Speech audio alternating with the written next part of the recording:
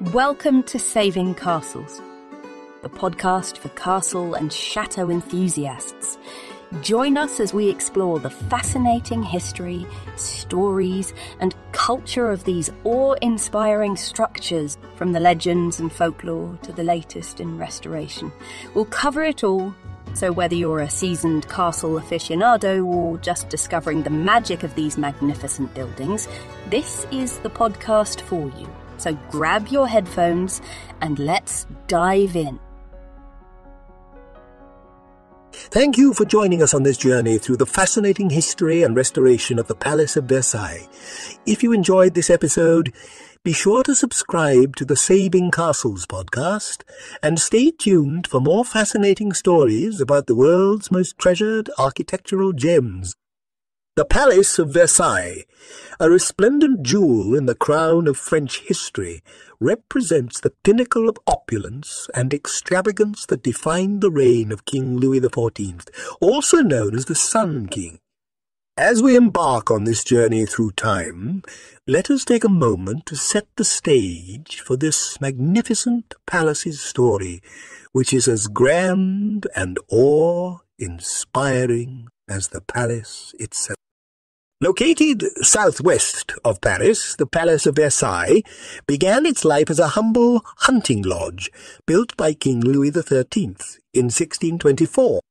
In the following years, it underwent several expansions, but it was not until his son, King Louis XIV, ascended to the throne that the vision of Versailles as a sprawling royal residence began to take shape. Over several decades, the Sun King commissioned a series of ambitious construction projects, transforming the lodge into an emblem of royal power, culture, and art. This extensive building campaign commenced in 1661 and continued until the king's death in 1715. Versailles grew in size and importance, ultimately encompassing over 700 rooms spread across a 17-acre site, all adorned with the most exquisite furnishings, artwork and architectural features of the time. During its heyday, the palace was not only the home of the French monarchy, but also served as the centre of government, with nobility and courtiers vying for the king's favour within its hallowed halls.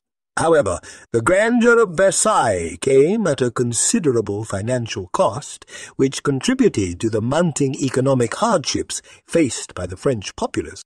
As tensions grew, culminating in the French Revolution of 1789, the royal residence would fall into disrepair and, for a time, lose its status as the nation's symbol of power and prestige.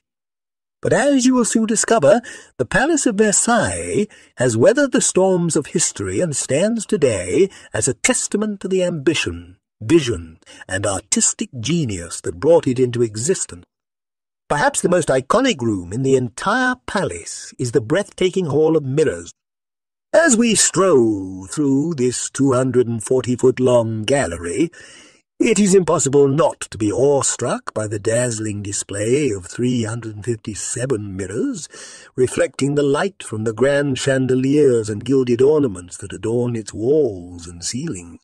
The hall was designed as a grand passageway and space for grand receptions, where visitors would be captivated by the sheer opulence and grandeur of the French monarchy.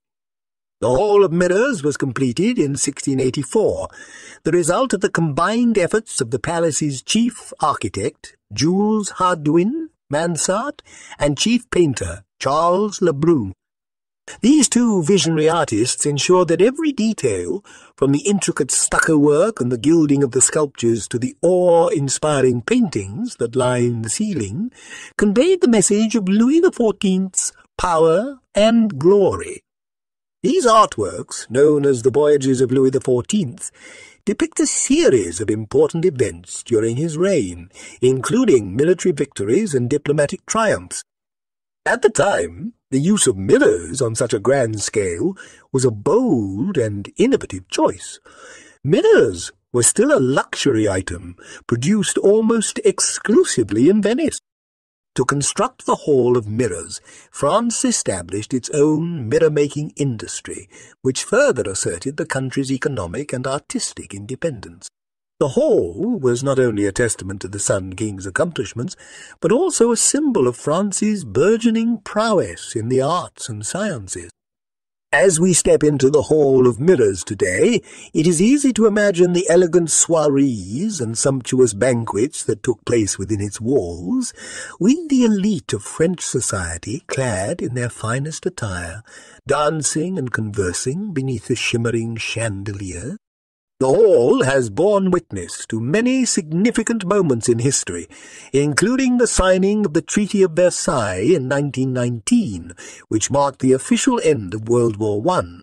As we continue our journey through the palace, the echoes of the past remain ever present within the Hall of Mirrors, a dazzling reminder of a bygone era of unparalleled splendor. Now, let us step outside the palace and venture into the equally magnificent gardens of Versailles. Designed by the legendary landscape architect André Lenotre, the gardens are an integral part of the palace's narrative, representing the Sun King's control over nature and his kingdom, sprawling over almost two thousand acres, these meticulously landscaped grounds are a stunning example of French formal gardens, with their geometric patterns, symmetrical designs, and carefully sculpted greenery. The gardens took nearly forty years to complete, with Lenotre working closely alongside architect Louis Le Vau and painter Charles Lebrun. As we meander through the carefully planned alleys, we discover numerous fountains, sculptures, and parterres, each one more impressive than the last. The intricate design of the gardens is punctuated by the awe-inspiring Grand Canal, a 1.67-kilometre-long artificial waterway that once served as the backdrop for opulent nautical parties and performances. At the heart of the gardens lies the majestic fountain of Apollo, depicting the Sun King's mythological namesake driving his chariot across the sky. Created by renowned sculptor Jean-Baptiste Tuby, the fountain symbolizes Louis XIV's power and dominion over both nature and his realm as the sun sets over the gardens, casting its golden rays upon the magnificent sculptures and reflecting pools, it is clear that the gardens are an essential counterpart to the palace, a living testament to the ambition and vision of the Sun King. However, the brilliance of Versailles could not shield it from the winds of change that would sweep across France in the late 18th century. As the French Revolution erupted in 1789, fueled by years of economic hardship and growing resentment towards the monarchy, the once imposing palace would soon become a symbol of the nation's struggle for equality and freedom. During this tumultuous period, the palace was ransacked and looted, with priceless treasures sold off or destroyed, the royal family, including King Louis XVI and his wife, Marie Antoinette, were forcibly removed from Versailles and imprisoned in Paris, where they would eventually meet their tragic end at the guillotine. The palace itself was closed off to the public, its once bustling halls now filled with an eerie silence. In the years that followed, the palace would undergo several transformations. Under Napoleon Bonaparte, it was briefly converted into a museum dedicated to the achievements of the French Empire. While the palace would regain some of its former glory during this time, it was only a shadow of its magnificent past, a poignant reminder of a fallen monarchy and a world that had forever changed. As we delve into the 19th and early 20th centuries, we find that the Palace of Versailles once again became a focal point for the French nation, as efforts began to preserve and restore what remained of this architectural masterpiece. Recognizing the palace's historical and cultural significance, French authorities embarked on an extensive campaign to return Versailles to its former glory. The painstaking process of restoration involved numerous large-scale projects, such as the repair of the palace's stonework, the recreation of its opulent interiors, and the restoration of its sprawling gardens. These efforts attracted the attention and support of skilled craftsmen, artisans, and historians, all dedicated to bringing the Sun King's vision back to life. One of the most significant early restoration projects was the refurbishment of the Royal Chapel, which was completed in 1873. This religious space, designed by Jules Hardouin Mansart and Robert de Cotte, was once the heart of the palace's spiritual life, where daily mass and important ceremonies were held. As workers carefully restored the chapel's exquisite stained glass windows, gilded woodwork, and magnificent frescoes, it became a symbol of the palace's rebirth. Yet the journey towards restoration was not without its setbacks. In 1871, during the turmoil of the Paris Commune, a fire swept through the palace, causing extensive damage. Undeterred, the dedicated team of restorers persevered, continuing their work to ensure that Versailles would once again stand as a testament to France's rich history and artistic legacy. Despite the passion and commitment of those involved in the restoration of Versailles, the process was fraught with challenges and controversies. Balancing the desire to maintain historical accuracy with the need to modernize the palace for contemporary use was a delicate task, often prompting heated debates among conservators, architects, and historians. One of the most pressing concerns was updating the palace's aging infrastructure, such as its electrical and plumbing systems, without compromising the building's historical integrity.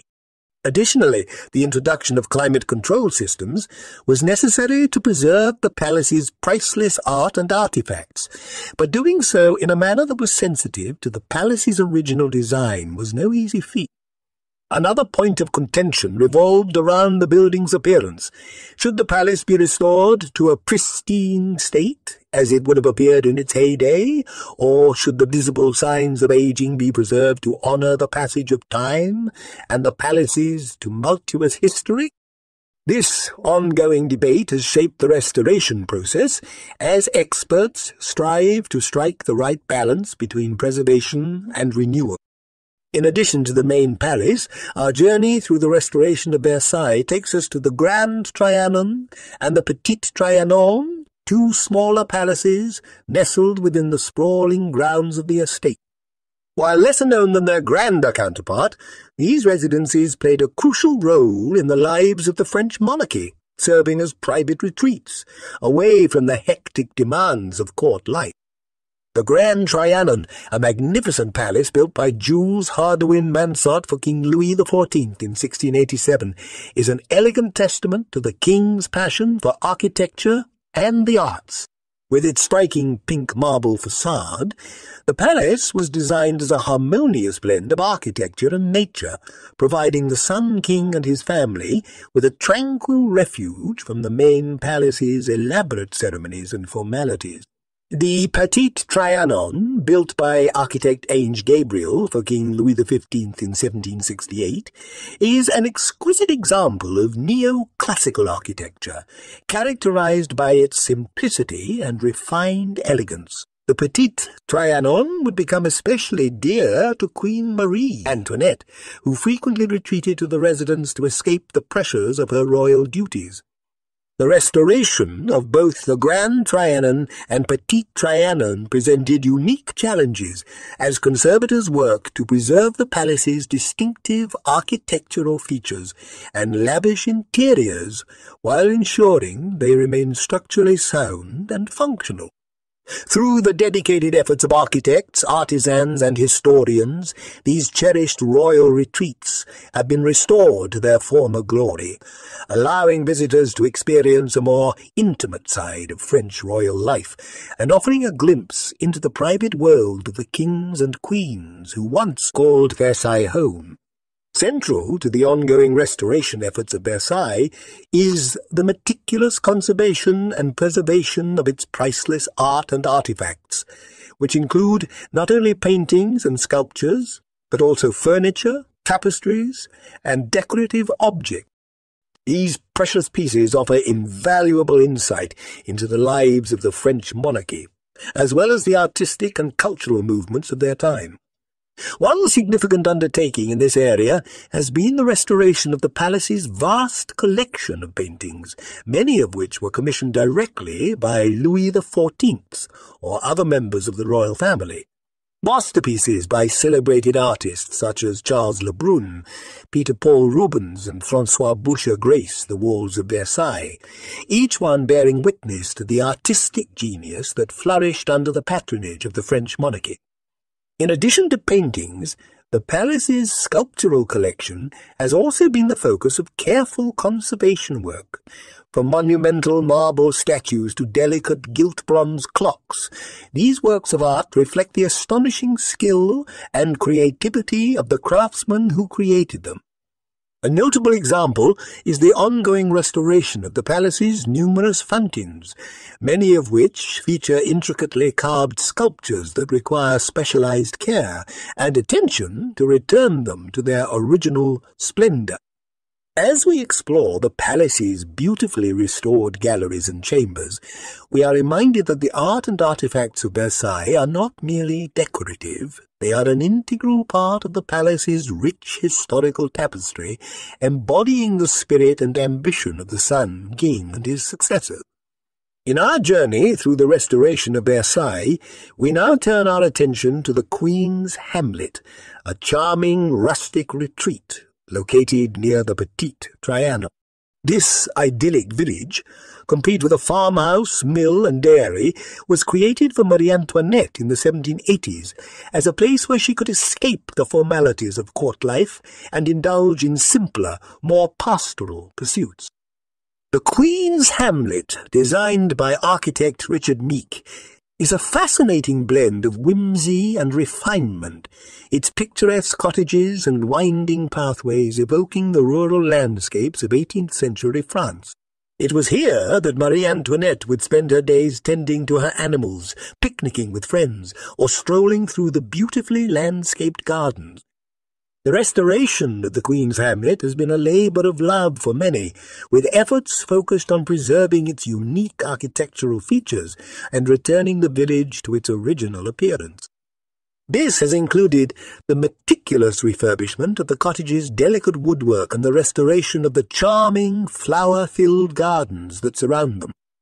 As we wander through this enchanting corner of Versailles, it is not difficult to imagine Marie Antoinette dressed in simple, peasant attire, delighting in the beauty and tranquillity of her beloved Hamlet. Our exploration of the restoration of Versailles would not be complete without a visit to the dazzling Royal Opera House, an architectural and artistic masterpiece that is considered one of the finest examples of 18th century theatre design. Completed in 1770 to celebrate the marriage of the Dauphin, Louis XVI, to Marie Antoinette, the opera house was designed by architect Ange Gabriel, who ingeniously integrated its structure into the existing fabric of the palace. The Royal Opera House, with its exquisite woodwork, gold leaf detailing and delicate frescoes, is a testament to the artistic vision of its creators, as well as the extraordinary talent of the craftsmen who brought it to life. Over the centuries, however, the theatre had fallen into disrepair, its once glorious interiors tarnished by the passage of time. The restoration of the Opera House, which began in the early 2000s, was a massive undertaking, requiring the collaboration of historians, architects, and artisans to ensure its delicate features were preserved and restored to their original splendor. This process included the painstaking conservation of the theatre's original woodwork, the application of thousands of sheets of gold leaf, and the recreation of its intricate ceiling frescoes. Today, the Royal Opera House has been returned to its former glory, providing a breathtaking venue for concerts, ballets, and other cultural events. As we marvel at the sumptuous surroundings, it is as though we have stepped back in time to the days when the Sun King's court gathered here to revel in the beauty of the performing arts. In our exploration of the restoration of Versailles, it is essential to recognize the role that technology has played in bringing the palace and its treasures back to life. Modern technological advancements have provided conservators and restorers with an array of tools that have greatly enhanced their ability to preserve and protect the palace's invaluable cultural heritage. For instance, advanced imaging techniques such as infrared reflectography and X-ray fluorescence have allowed experts to examine the layers of paint beneath the surface of a painting, revealing hidden details and informing restoration decisions. Likewise, laser cleaning has revolutionized the process of removing centuries-old dirt and grime from delicate surfaces, such as the palace's gilded woodwork, without causing damage to the underlying material. Another fascinating application of technology at Versailles is the use of 3D printing and digital fabrication to recreate missing or damaged elements of the palace's architecture and decor. Using high-resolution scans of existing pieces, artisans are able to create accurate replicas that blend seamlessly with the original structure. These cutting-edge technologies, combined with the expertise of conservators, architects and historians, have greatly facilitated the restoration process, ensuring that the Palace of Versailles will continue to shine as a beacon of France's cultural heritage for generations to come. In addition to the physical restoration of the palace, the ongoing efforts to preserve and protect Versailles have also focused on fostering a deeper appreciation and understanding of its rich history and cultural significance. To this end, the palace has implemented a variety of educational programs and initiatives aimed at engaging the public and fostering a sense of connection to this magnificent heritage site.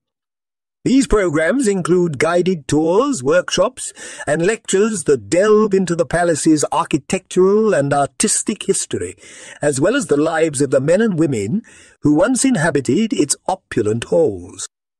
Through immersive exhibitions, interactive displays, and the use of cutting-edge digital technology, visitors are invited to step back in time and experience the splendour of Versailles as it would have appeared in its heyday.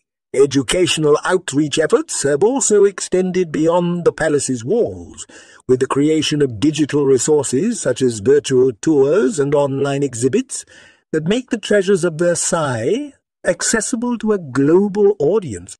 These initiatives not only enrich the visitor experience, but also help to ensure that the palace's legacy is preserved and appreciated by future generations. As we look towards the future of Versailles, one of the most pressing challenges facing the palace is the need to balance its preservation with the demands of the millions of tourists who visit each year. Sustainable tourism practices have become a critical aspect of the palace's ongoing restoration efforts as it seeks to minimize its environmental impact and protect its priceless cultural heritage. To address this challenge, the palace has implemented a variety of measures aimed at promoting responsible tourism, such as encouraging the use of public transportation, limiting visitor numbers during peak seasons, and implementing strict guidelines for visitor behavior within the palace grounds. Additionally, the palace has made significant investments in green initiatives such as energy-efficient lighting, rainwater harvesting, and the use of eco-friendly materials in restoration projects. By adopting sustainable practices, Versailles is not only preserving its past, but also securing its future as a beloved destination for visitors from around the world. The ongoing efforts to maintain and protect this extraordinary site are a testament to the enduring appeal of the palace and the dedication of those who work tirelessly to ensure its continued survival. Our exploration of the restoration of Versailles would be incomplete without addressing the impact of the COVID-19 pandemic, which has had far-reaching consequences for cultural heritage sites worldwide. The closure of the palace during the height of the pandemic led to significant financial losses, as ticket sales and other revenue streams dried up, threatening the continuation of restoration projects. In response to these challenges, the palace has sought innovative solutions to generate income and maintain public interest during these difficult times. These have included virtual tours, online events, and crowdfunding campaigns to support restoration efforts, as well as temporary exhibitions and outdoor events that allow visitors to experience the beauty of the palace and its gardens. The pandemic has also highlighted the importance of digital technologies in preserving and sharing cultural heritage, as well as the need to foster a greater sense of connection and engagement with our shared past. As we look towards a post-pandemic future, the lessons learned during these unprecedented times will undoubtedly continue to shape the restoration and preservation of Versailles and other cultural treasures around the globe. In conclusion, our journey through the restoration of Versailles has taken us on a fascinating exploration of the palace's storied past, as well as the dedicated efforts of countless individuals who have laboured to preserve and protect its legacy. From the painstaking conservation of its priceless art and artifacts to the careful balance of historical accuracy and modern innovation, the restoration of Versailles is a testament to the enduring appeal of this magnificent symbol of French culture and history as we look to the future, the challenges facing the Palace of Versailles, such as the impact of the COVID-19 pandemic and the need for sustainable tourism practices, serve as a reminder of the importance of safeguarding our shared cultural heritage for future generations. Through the ongoing efforts of historians, architects, artisans, and countless others, the legacy of the Sun King and the palace that bears his imprint will continue to inspire and captivate visitors from around the world for years to come. We hope you enjoyed this episode of the Saving Castles podcast. Stay tuned for our next episode where we'll continue to explore the fascinating world of castles and chateaus. Don't miss out and subscribe to our podcast to get notified when new episodes are released. For more information about us and our work, visit savingcastles.com. Thank you for listening.